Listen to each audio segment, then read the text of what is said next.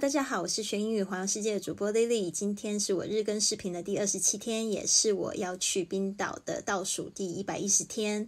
那我昨天不是回答一个网友问题吗？这个网友呢，就是说他一直很想要学好英语，但是不知道怎么样子开始，也不知道怎么样子去学好。那我说，其实开始就对了。再来呢，要学好的话，得要找出你的动力，然后每天坚持做一点点。那昨天呢，我就是提供了这两个问题，我发现呢，其实适用于在你想要。做的任何事情上面，这个呢就是很老老实实的呢写下为什么你想要做这件事情的原因，要写下二十个。再来就是写下二十个这件事情，如果你做好的话，会带给你生命中什么样子正面的转变。也适用我现在在做这个视频也是一样的，必须要了解我的这个原因。这件事情如果做好的话，我可不可以看到它对我的生命有什么样子正面的转变？所以我今天也做喽，我希望你也去做做看。